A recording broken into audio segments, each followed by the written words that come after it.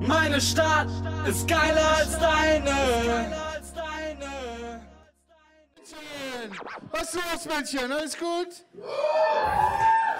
Nur der Bereich. Alles klar. Ich bin aus Berlin und äh, als Berliner merkst du eine Sache nur, wenn du Berlin verlässt. Und das ist, dass Deutschland verdammt schön sein kann. Fuck. Scheiße, Mann. Shit. Fuck me, Mann. Okay, ich komme aus Berlin. Berlin ist cool, aber Berlin ist grottenhässlich, okay? München, super schön. Das Ding ist, ihr habt ja immer noch genug Elend, um euch zu erinnern, okay, es ist trotzdem eine Stadt. Okay? Ich war äh, vor kurzem für Comedy in Heidelberg und Heidelberg, fuck me, Mann. Heidelberg ist so romantisch schön, ja? Ich bin durch Heidelberg gelaufen und dachte, scheiße. Ich bin ein Tourist im eigenen Land, fuck. Romantisch schön, du hast so eine kleine Altstadt mit einem Fluss, einem Hügel, Weinberge, ein Schloss auf diesem verdammten Hügel, ja. Romantisch schön, das kenne ich nicht. Ich komme nicht aus Berlin-Kreuzberg. Nicht weit weg vom Kotti. Okay, das Romantischste, was ich in meinem Alltag habe, ist, wenn zwei Junkies eine Nadel benutzen. Okay? Du denkst, oh, das ist unhygienisch. Ah, ihr seid Freunde, ist okay. Ich bin aus Berlin. Berlin ist jeder kreativ. Jeder in Berlin ist kreativ, sogar die fucking Bettler. Unsere Bettler sind extrem kreativ, wenn es darum geht, äh, dir Geld aus den Taschen zu holen in der U-Bahn. Okay, es gibt immer noch die Ausnahme, es gibt immer noch diesen etwas älteren türkischen Mann, der mit einer Krücke in die U-Bahn reinläuft und dann diese Krücke vier, fünf Mal auf den Boden haut und dir dann einen Becher vors Gesicht hält. Mit so einem riesigen Selbstbewusstsein, ja? Für ihn gibt's keinen Grund, dass du ihm kein Geld gibst. Und du sitzt da und denkst, mm, sorry, aber das, das ist nicht mehr genug. Das reicht nicht. Da ist so viel Talent neuerdings da draußen, das ist unglaublich. Poeten, Rapper, Musiker und ohne Scheiß. Letztens, vor ein paar Monaten, habe ich einen Typen gesehen, der für Geld ein Schwert verschluckt hat. Ein Schwertschlucker. Der Typ kam rein in die U-Bahn und hatte ein riesigen Schwert in der Hand. Und er war so mysteriös, weil er nichts gesagt hat. Er hat einfach nur sein Schwert gezeigt, so. Mhm. Mhm. Und die Leute waren so, aha. Aha. Und dann ohne weiter was zu sagen, hat er sich das Ding kurz reingeschoben, rausgenommen, reingeschoben, rausgenommen, sich verbeugt. Und wir sind alle kollektiv ausgerastet. Wir sind aufgestanden, oh mein Gott, er lebt noch, was? Jeder in dieser beschissenen U-Bahn hat dem Typen Geld gegeben. Jeder. Sogar ich. Ganze 50 Cent. Und ehrlich zu sein, das ist unnatürlich für mich, okay? Ich gebe niemanden irgendetwas. Jemals. Nicht, weil ich ein schlechter Mensch bin. Okay, auch, aber der Grund ist, ich gebe diesen Leuten kein Geld, weil ich gerade 2,80 Euro bezahlt habe, um diese Maschine für fünf Stationen nur in eine Richtung zu benutzen. Da bin ich der Meinung, Entertainment sollte mit inbegriffen sein, okay?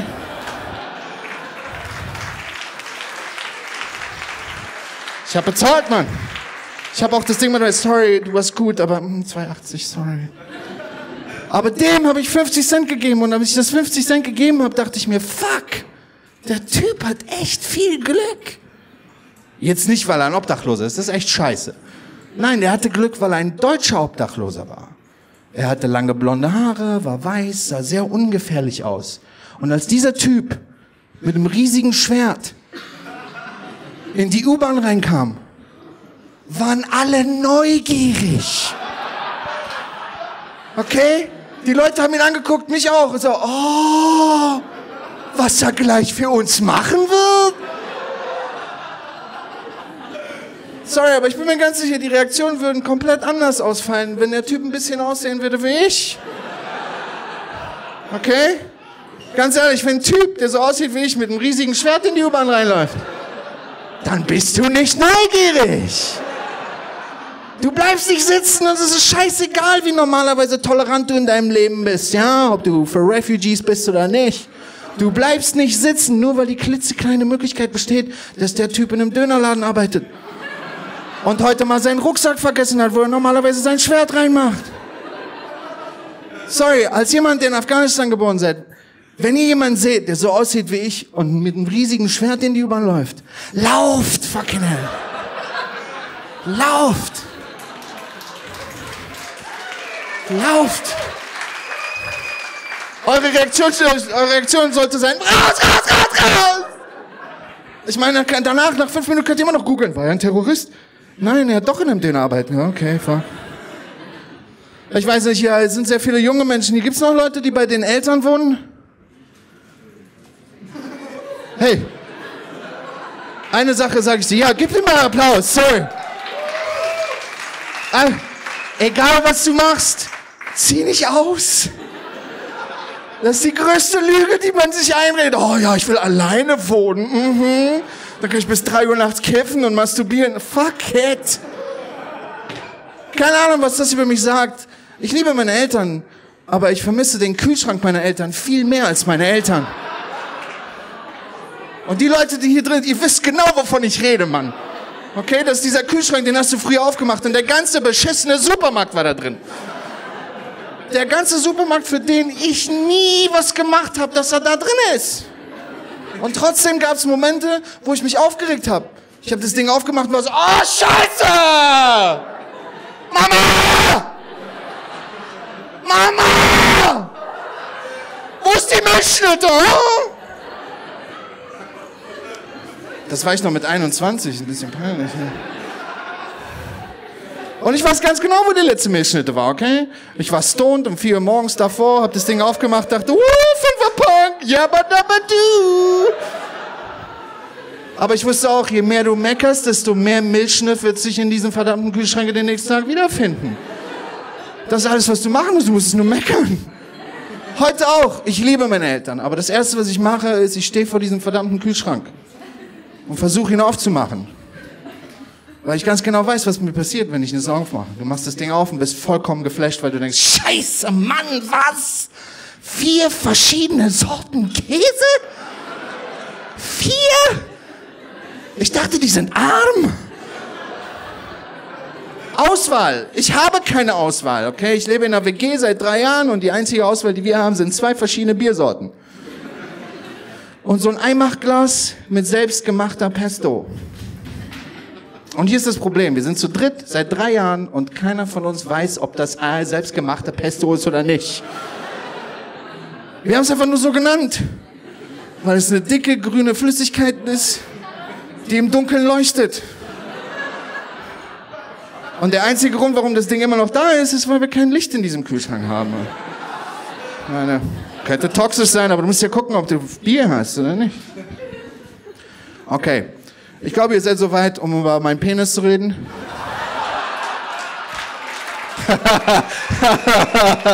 okay, jetzt wissen wir, was ihr für drauf habt. Ja, hey, ganz ehrlich, mein Penis ist mir wichtig. Äh, wäre ich eine Frau, würde ich über meine Vagina besprechen, aber ich rede mit, über meinen Penis. Auch mit meinem Penis. Manchmal sage hey, komm schon, komm schon. Wir müssen was machen jetzt. Das Ding ist, jeder Mann, egal wie selbstbewusst er ist, hat irgendeine Unsicherheit, was sein Penis betrifft. Bei mir ist es die Hautfarbe. Mein Penis ist viel dunkler als der Rest meines Körpers. Eine Sache, die ich schon als Kind nicht verstanden habe. Okay, war viel, stehe unter der Dusche und denke, nein, das ist nicht meiner. Wirklich, ich hatte die Theorie jahrelang, dass ich einen Unfall hatte als Baby und meinen Penis verloren habe. Weißt du, in der Tür eingeklemmt oder irgendein Scheiß. Und mein Vater musste mir dann einen neuen besorgen. Und das Problem ist, mein Vater ist ein wunderbarer Mensch, aber der ist nicht wirklich organisiert. Er hat mich auf den letzten Moment geschoben und dann irgendwie 15 Minuten bevor der Penisladen zumacht. Ja, ich brauche doch schnell einen, haben Sie einen? Ohne Scheiß, ich musste mir das letzte beweisen, okay? Ich musste mir beweisen, dass er viel dunkler ist, also bin ich in ein Bauhaus gegangen und habe mir so eine Farbskala geholt. Und dann habe ich verglichen und es stimmt, mein Penis ist vier Schattierungen dunkler als der Rest meines Körpers. Die Farbe heißt Mahagoni Braun.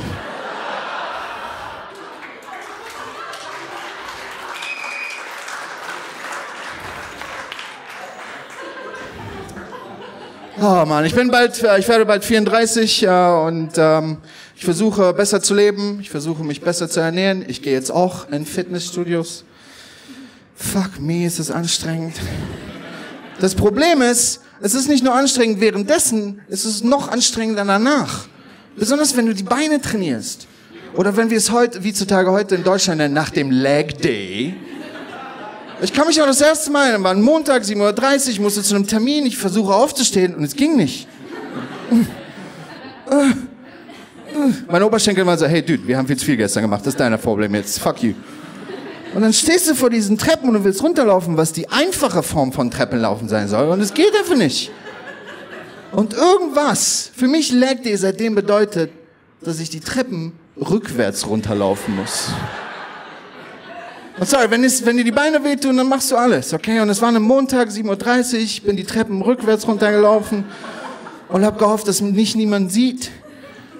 Ich lag falsch. Mein beschissener Nachbar kam nach Hause. Und das ist ein Berliner, der geht gerne aus. Das heißt, der geht dann am Freitagnacht aus und kommt Montagmorgen komplett verstrahlt nach Hause. Der war in sieben verschiedenen Techno-Clubs, hat 17 verschiedene Drogen genommen. Er kam so nach Hause während ich weiterhin rückwärts runtergegangen bin. Und der hat mich erst gar nicht bemerkt. Kurz bevor er mich überholt hat, wurde er langsamer.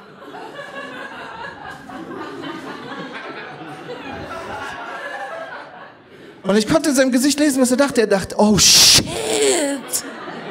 Fuck. Passiert das gerade echt? Und ich hätte in dem Moment alles aufklären können. Ich hätte sagen, du, das passiert gerade echt. Ich habe zu viele Squats gemacht. Geh nach Hause, trink Wasser, alles wird gut.